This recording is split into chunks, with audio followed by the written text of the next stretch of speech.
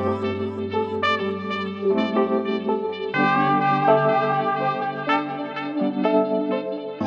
keep on searching for this feeling.